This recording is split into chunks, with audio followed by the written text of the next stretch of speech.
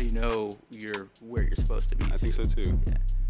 Sure do. If you had like a a signature flavor of something or a signature sauce, any I'm not even gonna say flavor or sauce. I'm gonna say if you had like a signature something, it could be a clothing line, it could be anything. What what what would it be?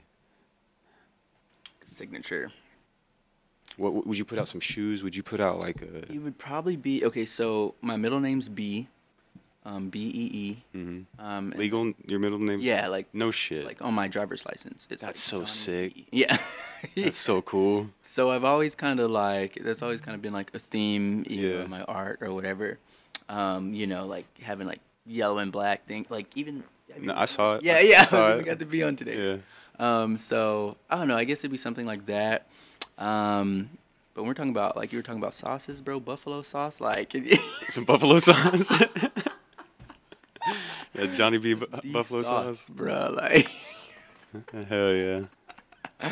but yeah, I don't know. Maybe something bee themed or I don't know.